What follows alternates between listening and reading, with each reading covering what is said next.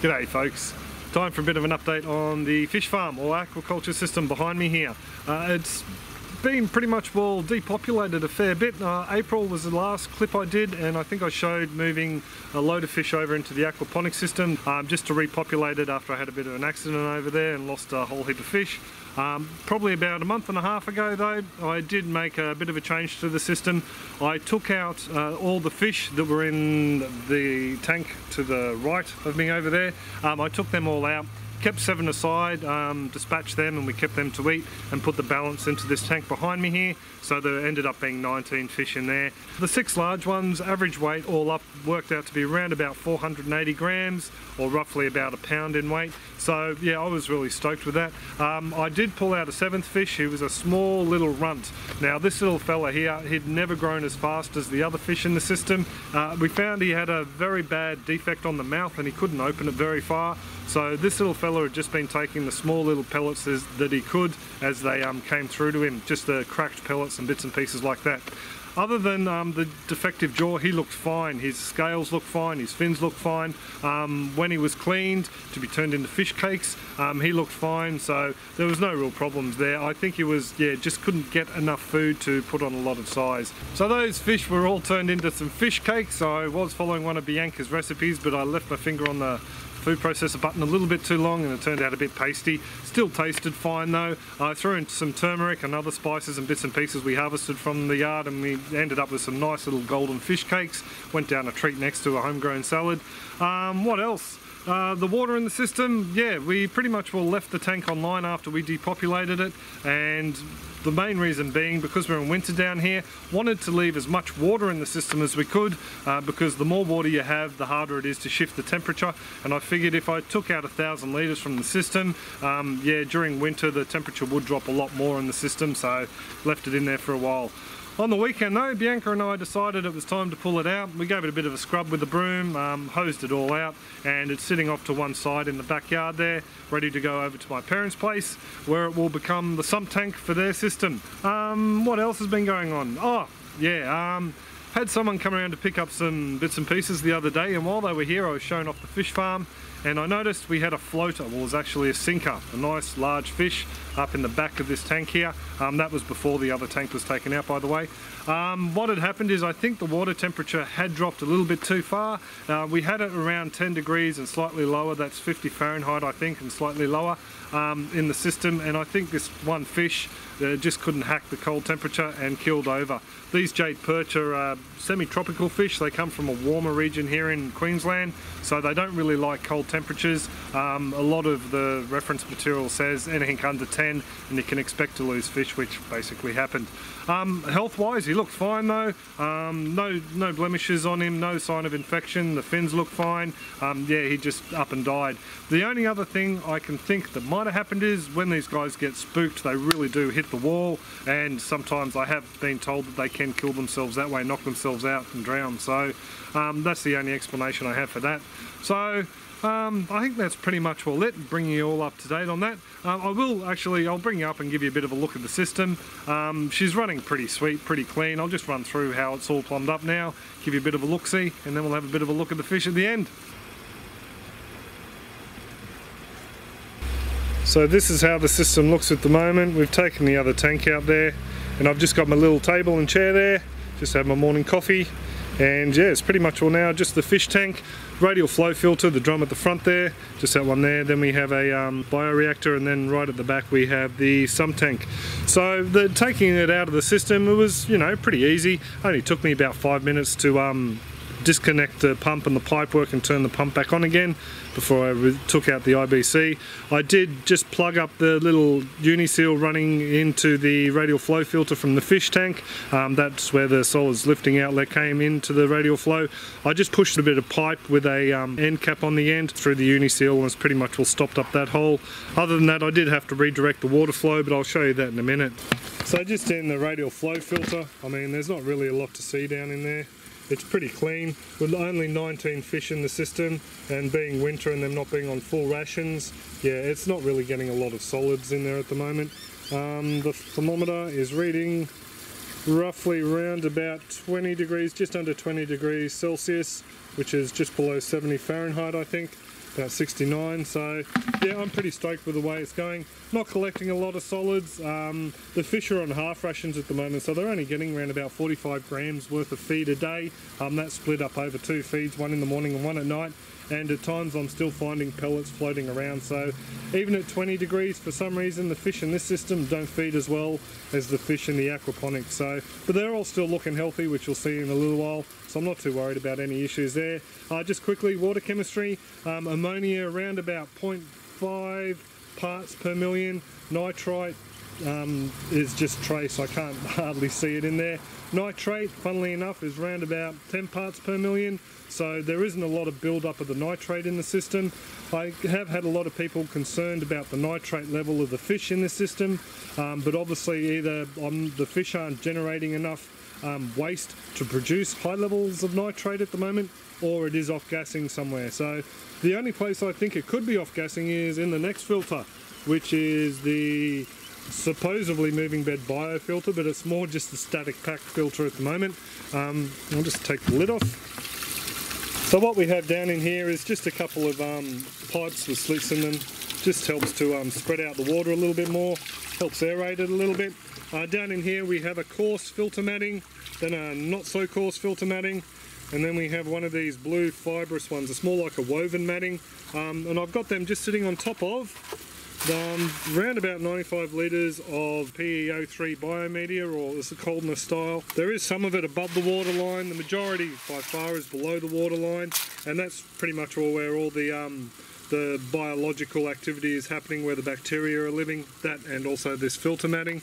Um, what I think has happened though is some of the fine solids that do go through here would be accumulating on the bottom of this barrel here and there may be some off-gassing happening there. I mean, I'm no expert, I don't know for sure, but yeah, there definitely isn't a lot of nitrate in the system whatsoever, not enough to be worried about anyway. So, a bit hard for you to see, but you get a real brown um, scunge to this bottom mat in particular, and that's all the really fine solids. And as a result, I have pretty much all crystal clear water in the um, fish tank. There are a couple of larger solids that aren't being taken out by the solids lifting outlet, um, but that's just because it's a square tank and I can't get the water to um, circulate correctly. Um, in the large aquaponic tanks I have no problems with that whatsoever because yeah it's a spiral motion and all the solids get dragged to the pipe. So I'll just put this guy back together and I'll show you how the pump's arranged now.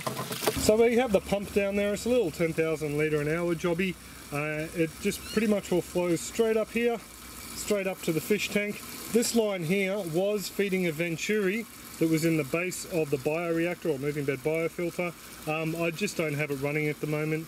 Um, I don't really see any point in it. I'm not actually happy with the way it was set up. I think in the future what I would do, I'd have an air ring at the base um, so if any solids did tend to fall down, um, that would just keep them in place so they could be taken out to a different filtration unit and be removed from the system. Uh, because I have noticed that uh, a lot of gunk, a lot of muck does build up on the base of these units when the Venturi is lifted off a couple of inches or six to eight inches off the base. So 15 to 20 centimetres. So um, yeah, definitely not running the Venturi anymore. I pretty much well don't need it, I don't think. There's enough oxygen in the water um, through the Venturi and the falling motion in the drum there to, you know, not really need any extra O2 in there. Just for the fish load in there at the moment though, that is. I mean, if this was fully stocked with um, the 90 fish again, that would be running flat out to help oxygenate the water. Up the top here, I've just turned my little two-piece feeder around so I could hook up my UV filter. The UV filter is pretty much well just used for um, knocking off any algae in the system. It doesn't kill bacteria. I mean, you saw from the, the chemistry test before, the process is still happening. I've had people say that UV filters kill bacteria in the system. They don't. Um, in this one, we use it just for algae, no other purpose. Um, over here, I've just capped off this little end piece here. And yeah, that's pretty much all how the unit's running at the moment. And oh, just on the other side in there, we have the little homemade Venturi. Um, nothing special, just a, a, bit of PVC pipe with a bit of hose thrown down him and he seems to be working fine. So before we have a look in the sump tank, I thought I'd just show you this. Um, what we have here is bicarb soda or sodium bicarbonate. This stuff here is fantastic at um, keeping your pH balanced in the aquaculture system. Not something I would use in aquaponics because it is sodium based. Uh, too much sodium, you'll have problems with plant growth and all sorts of things. When the system was populated with roughly around about 60 jades, I was adding in about that, um, what's that about? Two tablespoons worth every two or three days, and that was it. Very scientific, I know, folks. Um, about two tablespoons worth every couple of days, and that was keeping my pH between roughly around about um, 6.3 to 6.8, somewhere in there. Show you how much I'm adding at the moment. Probably about that every four to five days, if that. So maybe even once a week. Um, the fish just aren't feeding that much. The bacteria have slowed down. Um, they're not processing the waste as much, so we're not having the um, the, the pH drop as far. Uh, in here at the moment, it's nothing too exciting, folks. Just this little cord here is attached to a 500 watt aquarium heater, just in the sump tank. Um, that's pretty much all enough for the cold nights to heat the water up to a, a point where the fish are happy. Um, this float valve was connected to a top-up line. Um, that line's since been disconnected since the um, aquaponics was expanded. Just down there we have the inlet from the, um, whoops, just down there we have the inlet from the uh, bioreactor and just over there the outlet to the pump. So it's not very exciting at all. Oh, just to show you on the barrel here too, the way I've got this um, electrical line coming through.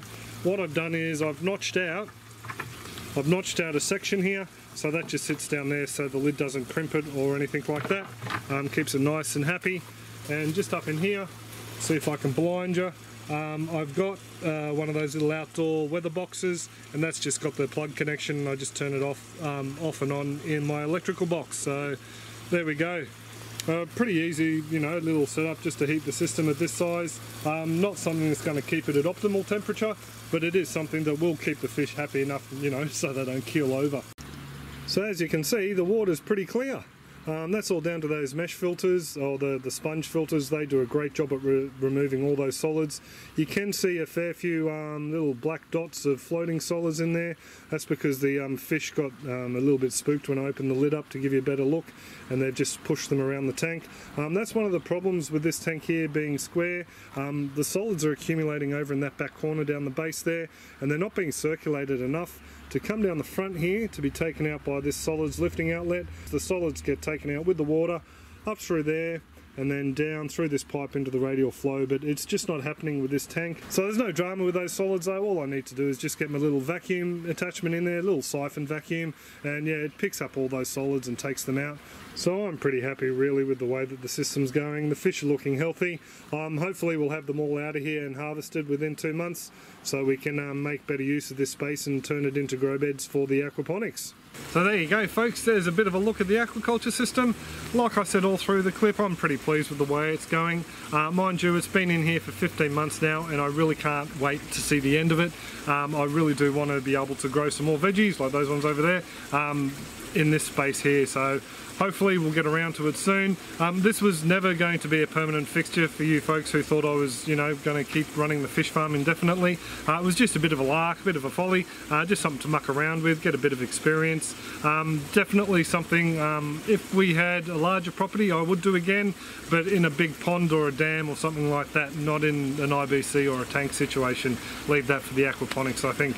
Um, uh, just quickly, I've had a couple of people contact me online wanting me to design systems like this for commercial use. Um, I'm not going to do it, sorry guys, I'm a backyard hack.